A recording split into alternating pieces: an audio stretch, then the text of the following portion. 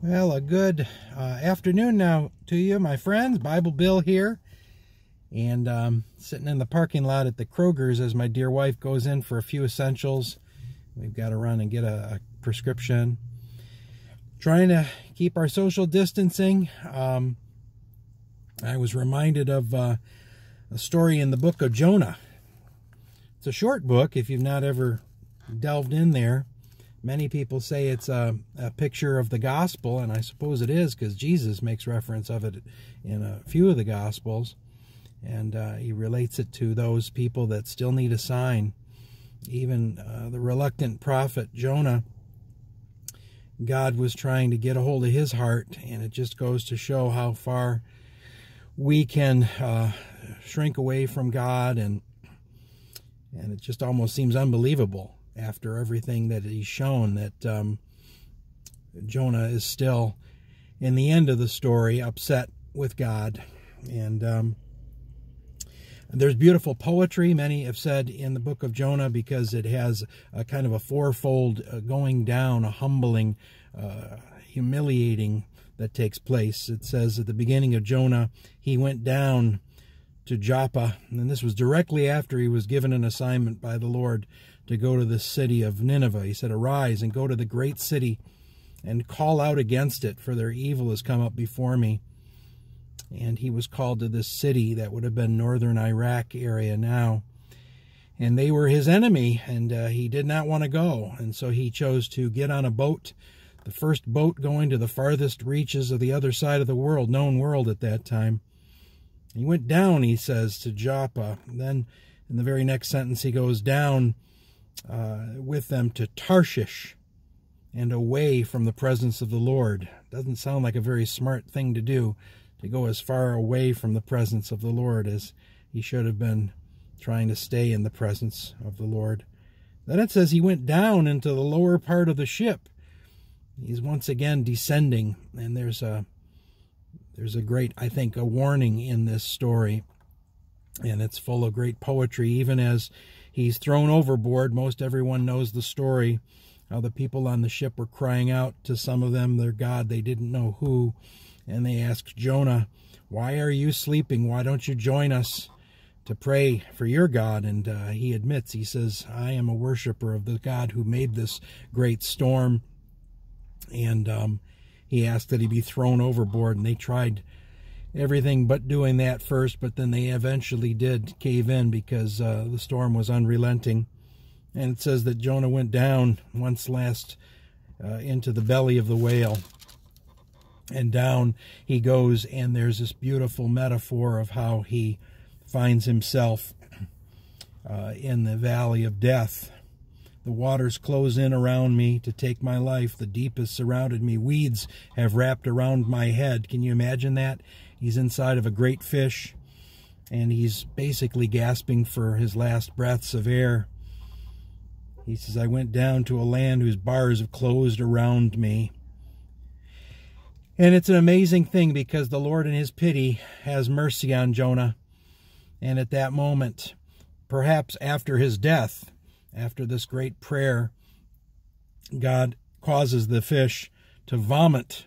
It's a strong word vomit Jonah right out onto the dry land. And you can imagine the spectacle of him walking around Nineveh, probably bleached from the inner uh, acids of this great fish's stomach.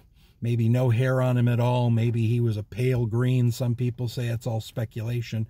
But they listened to him. He went around Nineveh and he, he prayed that they would repent, and they did. And they returned to the Lord. And Jonah was bitter about this, and it's an unfortunate thing. Uh, but Jesus says in the in the Gospels, and especially I look at the Gospel of Matthew, and uh, when it says that people were asking him for a sign, Jesus says, "You teachers that wish to see a sign." An adulterous and evil generation seeks for a sign, but no sign will be given to you except the sign of the prophet Jonah. What was the sign of Jonah? Well, it is a picture of the gospel because it shows the death, the burial, three days as was Jonah in the belly of the fish, uh, Jesus, as it were, was three days if you count from the time that he, he passed and the sun rising and the sun setting and then the resurrection. That three days it says the man will be in the heart of the earth. the men of Nineveh will rise up in judgment with this generation and condemn it, for they repented at the preaching of Jonah. Behold, he says, someone greater than Jonah is here with you. And so there's a beautiful picture of how we need to not necessarily look for the signs, but the signs have definitely been given. And it's interesting because uh, these are days where there are signs and wonders are being wrought, I believe, all the time. And God is trying to get our attention, and His Spirit is so gently and patiently crying out to us. I just want to ask some of us to just take this time to have some solitude and quietude. That's a kind of forgotten discipline uh, of many, and I'm trying to get a hold of God's ear, and, and and I'm crying out to Him these days for friends, for family, that they might turn, that they wouldn't need to be like the Jonah uh, prophet who would run the opposite way from the presence of God, but they would obey, and that they'd hear Him. And He's still crying tenderly He's saying, Come home. Anyone who's a sinner, he says, I want to receive you. It's as simple as this just crying out to God. Say, I've been living for myself. I want to surrender my life and control of my life to you, and I want to follow you all the days of my life. Thank you for sending Jesus to take the penalty of my sin. Especially think of that this Good Friday. And thank you for restoring my relationship with you. Take control of my life and make me more like you, that I might follow in the footsteps of Jesus.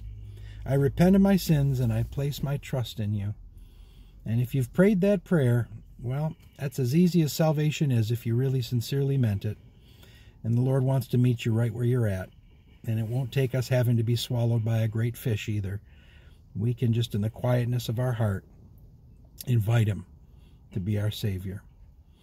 I just want to encourage you today. I know it's a, different world out there, but the Lord is definitely using this time uh, to get our attentions. And I pray that you would uh, listen to the words of Jesus today.